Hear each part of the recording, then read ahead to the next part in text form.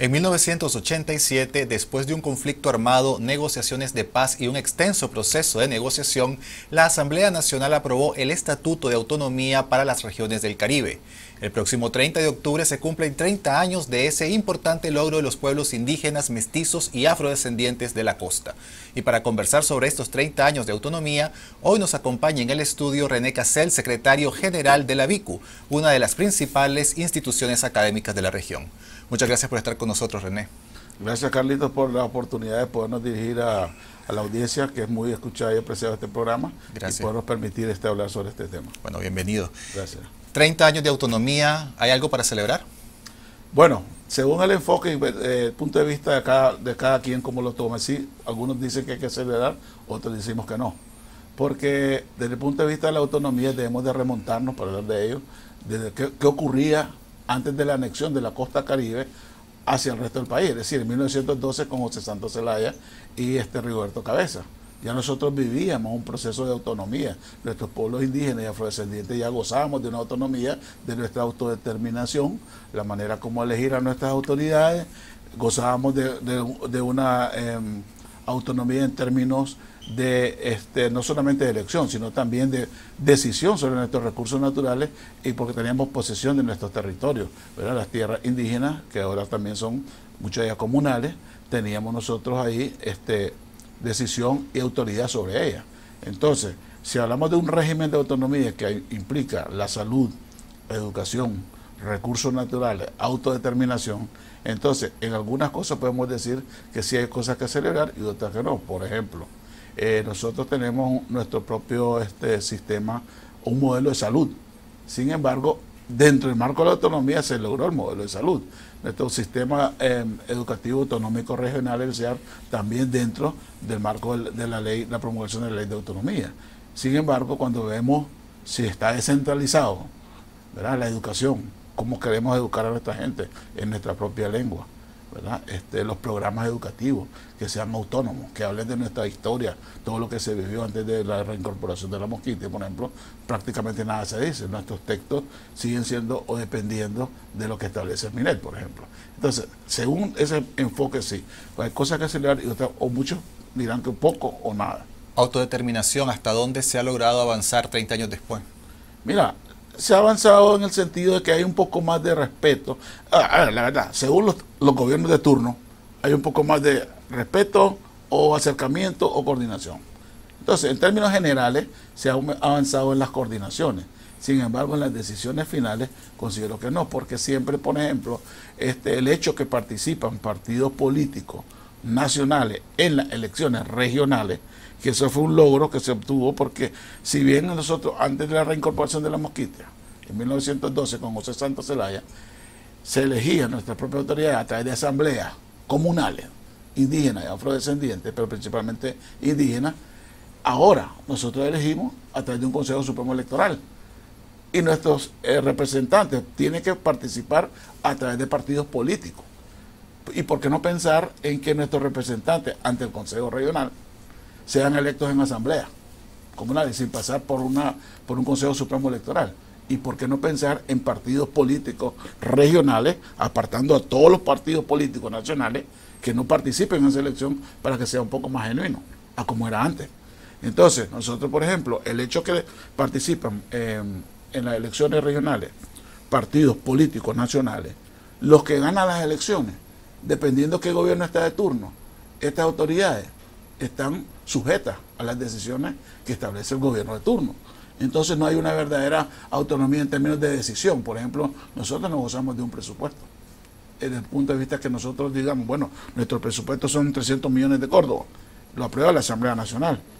Y entonces a veces hay castigo, ¿verdad? O ejecuta el gobierno proyectos paralelos. Por ejemplo, los gobiernos regionales no ejecutan todo su presupuesto para infraestructura, sino que va a través del FICE a través del MINSA, etcétera, etcétera. Si estuviéramos hablando nosotros de autonomía, entonces tendríamos nuestra propia secretaría o pequeños ministerios, por llamarle así, eh, nacionales, representados en el territorio, pero electos, nombrados, coordinados desde el, régimen autonómico. Es decir, 30 años después las políticas económicas, administrativas se siguen dictando desde Managua para eh, los pueblos del Caribe. ¿Qué consideran ustedes que ha hecho el Estado para apoyar instituciones en la costa que garantice el funcionamiento de la autonomía?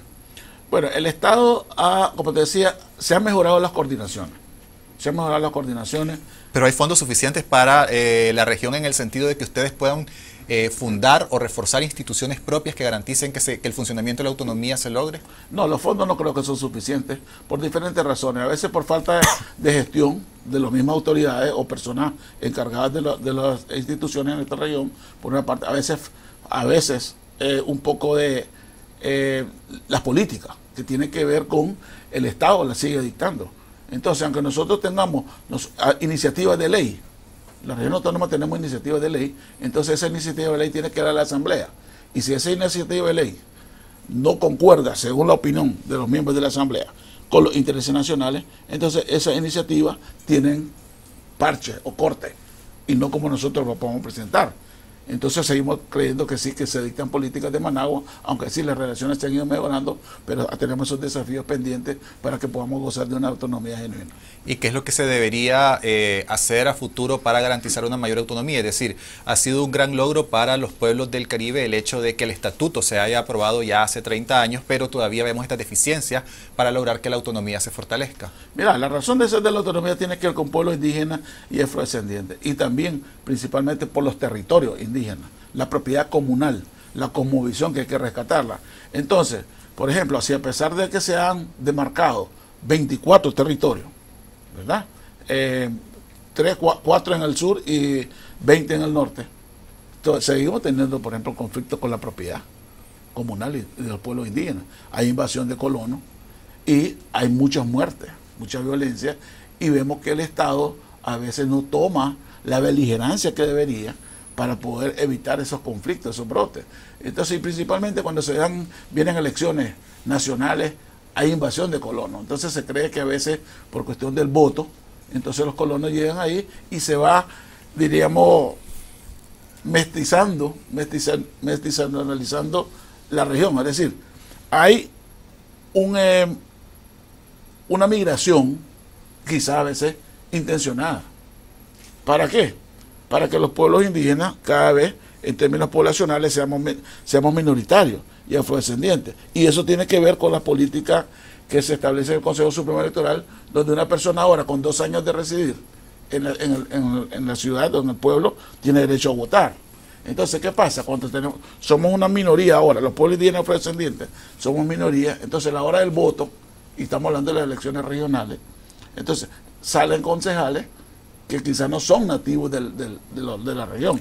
Y eso, a la hora que hay que decidir en el Consejo Regional, en términos que se puede aprobar o presentar alguna propuesta, eh, se va minando pues la presencia de los pueblos indígenas. Pero ¿qué falló eh, una vez que se aprobó el estatuto y que entró en vigencia para que este eh, terminara 30 años después debilitado? Es decir, ¿qué se tuvo que hacer en su momento para que ustedes pudieran gozar de una autonomía plena?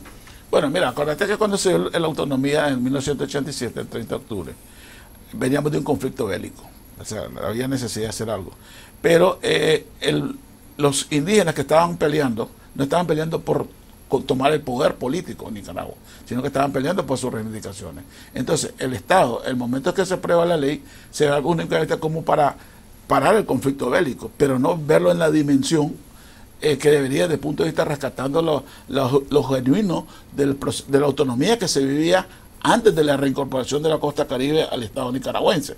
Entonces, por ejemplo, el hecho de la elección de los, consejos regionales, cómo se participa en la elección, cómo se participa en la autodeterminación, eso tiene, mantiene el control del Estado sobre las decisiones que se toman ahí. Por eso creemos que ese es un desafío importante que debieron de haber eh, contemplado, por ejemplo. O quizá, siempre va a haber migración y la Constitución establece que eh, nosotros como nicaragüenses tenemos derecho a, vivir, migrar donde queramos. Pero, ¿qué es lo que pasa? No se garantiza. De 47 concejales, por ejemplo, en, la región autónoma sur, en el Costa Caribe Sur, ¿cuántos, eh, solamente 15 votos salen o concejales salen de las circunscripciones de los pueblos indígenas y descendientes? Entonces, ya somos minoría en términos de la cantidad de concejales. Entonces, si nosotros quisiéramos garantizar lo genuino de la autonomía y el que se rescate y se respete la, propiedad comunal, la autodeterminación de los pueblos, entonces, ¿por qué no decir, bueno, independientemente de cuánto sea la composición poblacional de la región, ¿por qué no garantizar, por ejemplo, de 47 escaños, 27 para el pueblo indígena y los otros 20 se proporcionalizan con otros grupos étnicos? ¿Cuál es el sentimiento de la población eh, del Caribe sobre la autonomía y también sobre su identidad? ¿Se sienten más originarios de, la región? ¿Se sienten nicaragüenses como una identidad nacional? Bueno, depende, depende a quién le hace la, pregunta, porque por ejemplo, alguien que no es de la costa caribe, que llegó a recibir allá en la costa caribe por diferentes circunstancias eh, y, que, y que es reciente, no va a sentir lo mismo que si se lo pregunta a un indígena, ¿verdad? O si se lo preguntan a un afrodescendiente. Entonces, dependiendo de quién se lo pregunte y el estatus que él ocupa, puede cambiar la opinión. Pero sí, por ejemplo, las opiniones están divididas. Es decir, para muchos la autonomía hay poco que celebrar, mientras para otros sí dicen que hay que celebrar porque hay logros. Sin embargo, eh, si yo comparo la autonomía desde antes de 1912, ¿verdad? Y lo que ocurrió en 1912 hacia acá, podemos decir que hemos retrocedido. Entonces, dependiendo en qué momento hablamos de autonomía, si la hora que se promulga la ley 1987 o desde antes de 1987. Entonces, sí, algunos te podrán decir que se ha avanzado, otros te van a decir que no. Entonces, los sentimientos son encontrados, sin embargo, los autóctonos de la región creemos que hay muchos desafíos pendientes y cosas todavía que darnos como autónomos, que somos para poder decir que gozamos de una autodeterminación o una autonomía verdadera. Entonces, las personas que no son de allá o tienen poco vivir o llegan a, no han perdido nada o no, no saben lo que teníamos antes, por eso te decía los, términos de la educación, la historia, cómo se combina. Si yo no conozco mi historia, yo no sé cómo era antes. Entonces todo lo que me llega lo tomo como bueno, en función de qué es lo que yo tenía antes. Entonces yo creo que sí, este, las opiniones, pues como te digo, siguen divididas. Y este, en nuestra labor como universidades y todo, tratar y conjuntamente con la Ministerio de Educación, que se rescate la historia, los valores y la identidad. Porque algo importante también, nosotros podemos hablar de autonomía, pero una autonomía ¿cómo? Es una autonomía con identidad, porque somos una región y un país multiétnico, multilingüe, multicultural. Pero si la autonomía desaparece, nuestro pueblo indígena desaparece, no fortalecemos su autodeterminación, entonces vamos a desaparecer como pueblo. Eh, René, anteriormente estábamos hablando de, eh, bueno, de la situación actual de la gente sobre la autonomía, pero eh, ¿Cuánto dirías que está desarrollado el Caribe? ¿Ha servido la autonomía de las regiones para garantizar, para mejorar las condiciones de vida de las poblaciones eh, que habitan en el Caribe? Desde el punto de vista, nosotros, algunas infraestructuras se han venido desarrollando en la región que va a contribuir al crecimiento económico de la región. Sin embargo, este, ese crecimiento no lógicamente se puede traducir en desarrollo. Porque, por ejemplo, este, nosotros, la, inversión que se está haciendo en la región requiere de carreteras, de energía eléctrica, de agua potable. Nosotros todavía tenemos serios problemas de, agua y saneamiento. Uno, la inversión que ha llegado es una inversión poco relacionada a la identidad eh, caribeña. Por ejemplo, nos está llegando inversiones como decir palma africana, que tiene que ver con una inversión eh, de un monocultivo que atenta contra los recursos naturales, que a la vez por los altos niveles de contaminación afecta a la pesquería. Entonces los nativos que viven de la pesquería están siendo afectados. Entonces, aunque haya un poco de, empleo en términos de algunas empresas que han llegado, como el caso de la palma africana, eh, no lógicamente se traduce en desarrollo. Tenemos, por ejemplo, serios problemas porque los hospitales de nosotros no son hospitales de primer nivel la gente sigue, tiene que venir a Managua a buscarse cómo curar muchas enfermedades, porque en nuestros hospitales, a pesar que se han mejorado la infraestructura, no tenemos todo el equipamiento para poder resolver los problemas de salud de la región. Este, también en el caso de la de, la, de, los problemas territoriales que hablábamos, apenas se está haciendo una carretera que eso, eso estamos convencidos que va a ayudar a fortalecer el proceso de autonomía en términos de generación de empleo pero eso eh, lógicamente tiene su tiempo para que se pueda lograr. El, el, acceso y disponibilidad de energía eléctrica. Se están invirtiendo mucho en la energía eléctrica, pero también el costo sigue siendo alto comparado con el resto del país. Entonces, aunque tengas acceso a la energía eléctrica no está disponible por términos económicos. Nuestras regiones autónomas siguen siendo principalmente norte y sur. Tenemos ejemplos de regiones y municipios muy pobres y a nivel nacional los datos oficiales indican que las regiones más pobres están en la costa caribe. Bueno, han sido 30 años de eh, autonomía que no se ha traducido para la región en eh, desarrollo. ¿Cuántos años de atraso creería usted que está el Caribe comparado al resto de regiones del país? Bueno, mira, eh, yo podría decir que unos 25 años. ¿Por qué digo esto? Porque antes, insisto en esto, Carlos, porque para poder entender, mira, antes de 1912, en la costa caribe, en Bluefield, circulaban seis periódicos. Ahora no hay ni uno. Las clases, todo lo que se refiere en inglés. Influencia de, la, de, la, de Gran Bretaña, obviamente. Cuando se da la reincorporación, todo eso se mandó a anular. Ah, se prohibió dar, los colegios no pueden dar clases en inglés, solo en español. Toda la circulación de los medios de comunicación, en este caso el periódico, se mandó a anular, etcétera. Este, entonces, la infraestructura vial, la energía eléctrica, todo se desarrolló en el Pacífico, porque también habían pintado la costa caribe como que era un lugar que aparte de requerir pasaporte, eh, eh, el régimen de Somoza, por ejemplo, castigaba a los militares que hacían alguna anomalías acá, los mandaban castigados a la costa caribe. Entonces, había un estigma como que era un lugar de atraso, y en verdad así lo fueron, eh, lo fueron tildando y pintando. Entonces, los grupos de poder que han llegado a ocupar los cargos, los políticos, presidentes, diputados, etcétera, siempre han estado en el Pacífico, no han estado en la costa caribe. Entonces, según como los grupos de poder eh, están en el poder, así también el desarrollo se va haciendo. Por ejemplo, eh, China del Occidente se fue desarrollando en base al algodón, al maní, etcétera, y nosotros no había nada que desarrollar, nada más que la pesca, todo era por agua. Entonces, las empresas pesqueras, el desarrollo económico era muy limitado en términos de, y se hacía a nivel de enclave.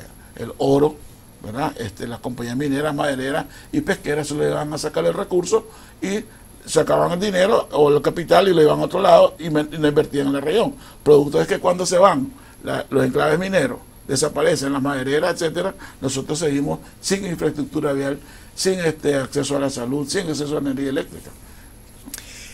Hablando del tema de la infraestructura y del desarrollo, el gobierno del presidente Daniel Ortega eh, ha vendido desde hace ya más de cuatro años la idea de que la construcción de un canal interoceánico va a sacar a Nicaragua del atraso, va a generar cientos de miles de empleos y se va a convertir en el boleto hacia el futuro para el país. Hay un movimiento campesino que se ha opuesto abiertamente a este proyecto cuya concesión se entregó al empresario chino Guanjin. Una de las zonas más afectadas por el proyecto tiene que ver con el Caribe Sur.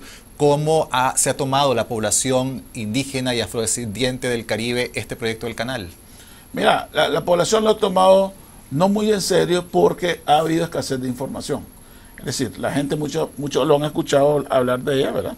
Del proyecto del Gran Canal, sin embargo, no ha llegado a toda la población, a los restos de la población, verdaderamente en qué consiste el canal, por un lado.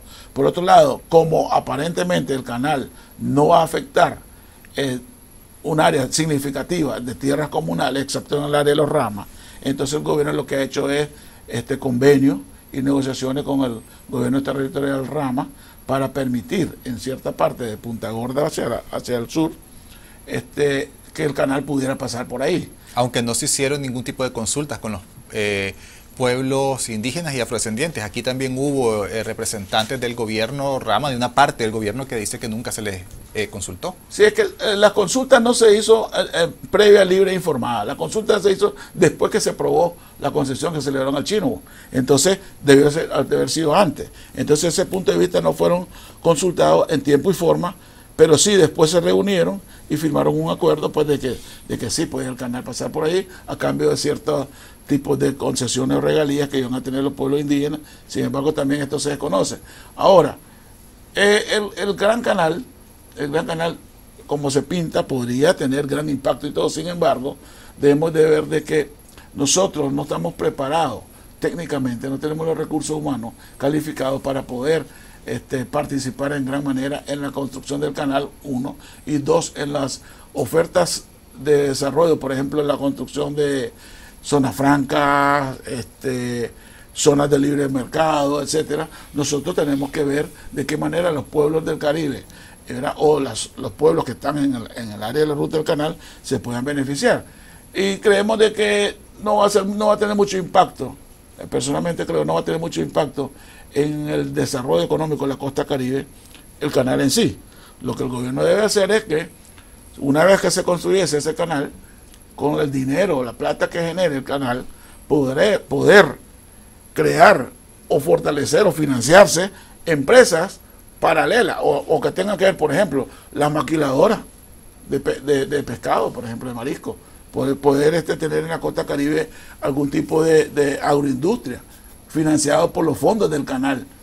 Y así el empleo se va a generar gracias a otra agroindustria o este, inversiones que se financian de los fondos del canal y no directamente del canal, porque la, el, la calificada que te puede que puede mandar el canal es muy poca.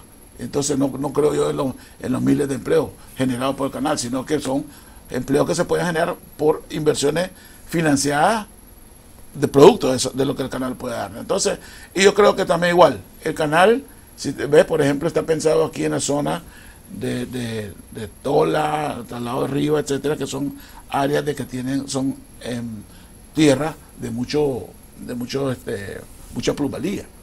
Entonces las tierras nuestras va a servir más que todo como para, por la cantidad de agua que cae y las precipitaciones, para que se alimentar el canal.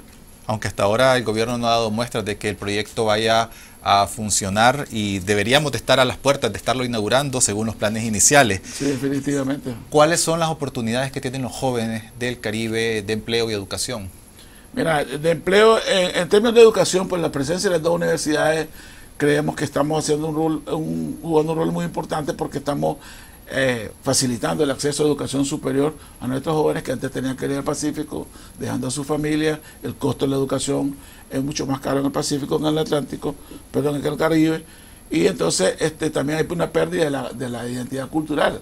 Es decir, un joven que, por ejemplo, principalmente los indígenas que tienen que eh, venir a estudiar el Pacífico, algunos tienen serias dificultades de hablar el español y comprender el español, porque quizás lo pueden hablar, pero la, la comprensión no la tienen. Entonces, cuando recibe la educación en idioma español y viene de una comunidad indígena donde el joven quizá no ha tenido orientación vocacional, no ha sido reforzado en el aprendizaje del español, cuando él llega a la universidad tiene un choque, independiente de que quede en esta universidad en la costa caribe, tiene un choque cultural. Entonces, eh, creemos que la presencia en esta universidad le facilita eh, emocionalmente este, que pueda culminar una carrera y que la deserción sea menor a que se tenga que acá. En materia de empleo, eh, estamos en deuda, estamos en deuda porque eh, la inversión que llega a la costa caribe, como te decía, no es una inversión ni para jóvenes ni para nuestros eh, que tienen que ver con identidad. Por ejemplo, la palma africana, el, caribeño, el, indígena, el afrodescendiente, no es agricultor. Entonces ese empleo que se genera, aunque algunos jóvenes puedan acceder, es para personas que no son de la zona. En otro, de otra manera, el, el empleo, por ejemplo, cuando el joven busca empleo, ¿qué es lo que le dice? Con tantos años de experiencia. Entonces, la inversión privada en la costa caribe en los últimos 15 años ha sido prácticamente nula. Y los jóvenes, por lo tanto, no tienen acceso. Entonces, están trabajando, eh, por ejemplo, en el Gallo Mangallo, en Tropiga, somos una región, y por no decir un país también, de consumo. Entonces, el joven no está trabajando en áreas que son productivas, que generen un empleo digno y con un buen salario. Y muchos vienen a trabajar al Pacífico en los llamados call centers. Nosotros también tenemos un call center allá, pero igual, ha sido un call center que tiene que ver también para tratar de que el joven, si bien es cierto, trae un call center, aunque el salario no es tan bueno, pero por lo menos se queda en la región y el dinero queda circulando en la región. René, 30 años después, eh, ¿cree que es necesario reformar el Estatuto de Autonomía que se aprobó para darle mayor libertad a la región? Sí, desde ese punto de vista la, reforma es necesaria, porque, como decía, porque hay muchos desafíos pendientes en términos de lo que hablamos al inicio, de que de cosas que nosotros genuinamente vivíamos, un proceso de autonomía. Entonces, sí creemos que se debería una reforma, pero en beneficio de la población caribeña y no para reducir el espacio y de autodeterminación. ¿Qué debería incluir esa reforma? Por ejemplo, la manera como se eligen a los concejales regionales la participación de los partidos locales y no partidos políticos en nuestras elecciones, la tenencia de la tierra, la propiedad comunal, un mayor respeto a la propiedad comunal, la no inscripción y prohibición o cárcel de verdad para los que están traficando con las tierras indígenas, por un lado, por otro lado también el sistema autonómico regional que verdaderamente goce de un presupuesto este, que le garantice autonomía verdadera para poder decidir los programas educativos que queremos. Y también, por ejemplo, algo que tenga que ver con la economía, la planificación del desarrollo regional, tenemos, hay un plan de desarrollo de la costa caribe. Sin embargo, la participación en la formulación de ese plan, ¿verdad? No es, no es amplia la participación. Y la garantía para que ese plan pueda funcionar y pueda desarrollarse, no, no tiene en cuenta la población, sino que los mismos líderes políticos o concejales regionales que obedecen muchas veces a partidos y no a la sociedad civil. Es decir, ese plan debería ser consensuado a través de la sociedad civil principalmente, ¿verdad? y no como se ha venido haciendo, que se hace únicamente a nivel político. Muchas gracias René Casel por estar con nosotros aquí en el programa. Gracias Carlos. Gracias por ver este video. Síganos en Facebook y Twitter a lo largo de la semana y los invitamos a suscribirse a este canal para recibir todos los reportajes y entrevistas de esta semana, esta noche y confidencial.